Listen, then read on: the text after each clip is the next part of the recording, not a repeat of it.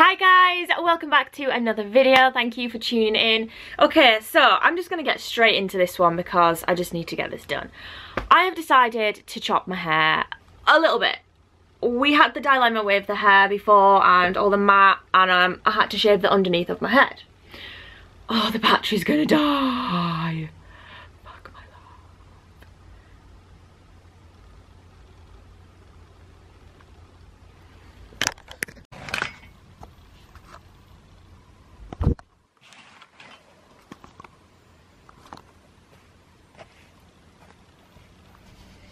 Guys i don't know what happened I, was watching videos and I was getting excited and I just started cutting and my camera was charging because my battery was dying and, and I'm so sorry that I didn't film it.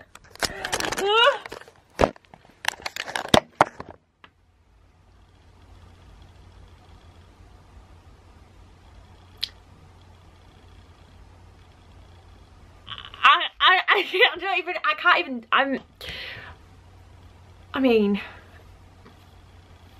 Hi. Hi. I mean, I, do not know what your opinions are, but I like it. I just, I, well, right, let me go back to like three seconds ago when you guys, um, for you it was three seconds ago, for me it was like 20 minutes ago, whatever. But, um, it wasn't going to work doing it the way that I was trying to do it. This is, it wasn't going to be able to get like these layers. So what I did was, I, want, I need to tell you what I did because I didn't film it and I'm so sorry and I feel terrible. I parted it like this um, and I just took the back bit and just put it out of the way because I, I was like, I need to keep the length. So I kept the back bit out of the way and parted it like this down both sides. Then I took another part in like this obviously better than this but then I just parted like this to take like a middle section here. And I didn't touch these sections at this point because I was like okay I still want to keep some length down here and if I just take all of the hair and start chopping it's not gonna work. Then this is insane! I took my hair and I twisted it like that. And then I took it to about here and chopped and that is I chopped that off of my hair. So this part of hair was like this and I chopped it off. Yeah. Then I decided that I wanted to try and still be able to keep some length going on but I needed to like I wanted the fringe.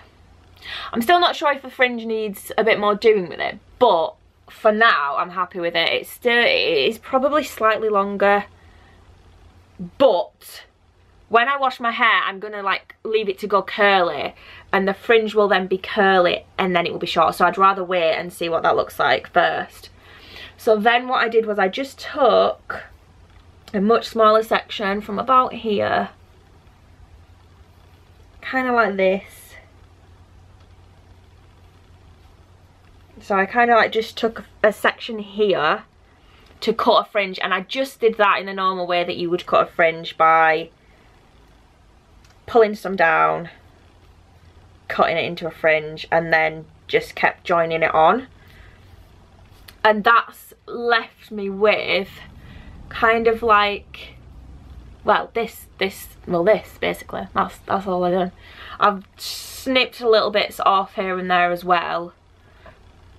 Um but I wasn't, I don't think I was expecting to like it as much as I do. And what I'm really, really liking is the colour. So I feel like before, the colour just looked really crud, like it looked rubbish.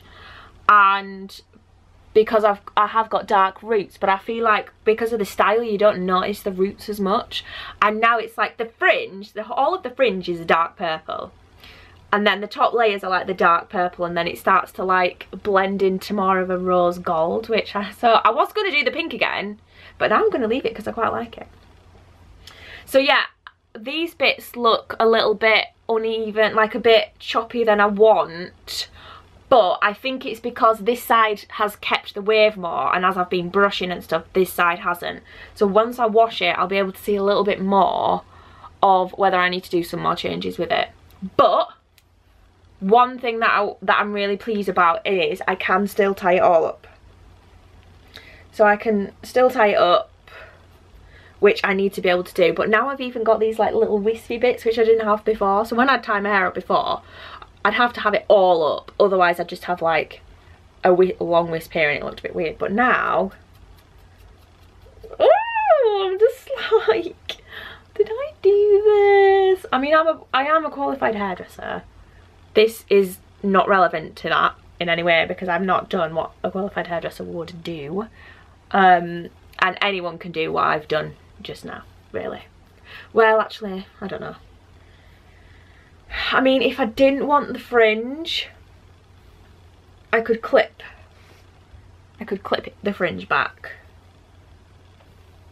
I like it! Yes!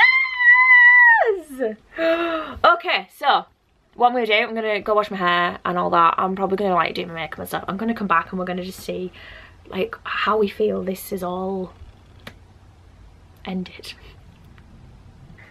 Ta-da! So this is the finished result. Or I haven't styled this at all. I've put like a bit of product in it and just like let it scrunch dry. And this is the this is the result with it scrunch dry. There's so many different ways I can wear it. So, and like, if, also, which I'm quite excited about is, if I wanted to have it so it was like I have short hair, I can just tie the rest of my hair up and it's like, I have short hair. Uh, anyway, um, I'm really pleased with it. Obviously this is, it's gonna look different tomorrow because as soon as I brush it, it goes more frizzy like it was earlier on. But this is just like, just been washed, air dried, curly whirly and all that jazz. So let me know what you guys think down below. I am very pleased with it. And I don't think it's that far. Let's just get that picture up. Let's get the picture up. Ooh. I don't think it's like massively just me.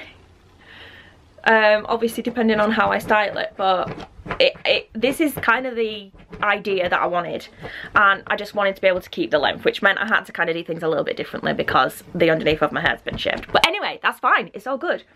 Um, I'm gonna leave this video here. Please do leave me comments down below. If you hate it it's fine because I love it.